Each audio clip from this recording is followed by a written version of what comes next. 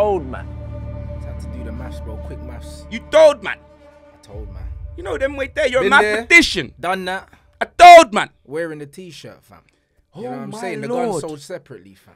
My That's what I'm saying. It's mad. I told you, man, it was coming, bro. The Arsenal Express is never late, bro. Mm-hmm. You, man, hold the record here. Four out of five of the biggest bottle jobs in Premier League history belong to you. Aye, now, when man talk about the bottle gene, the bozo gene, Arsenal are the biggest bozos in Premier League history.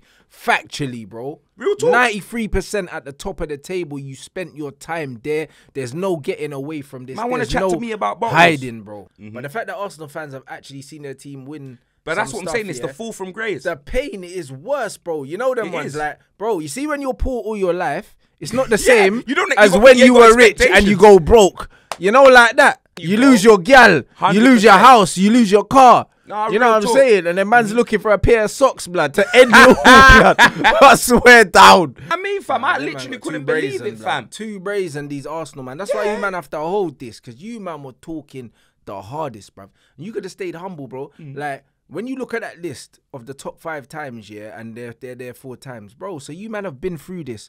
Mm-hmm. Why did you allow this? Why? Why did you allow this to happen? Why?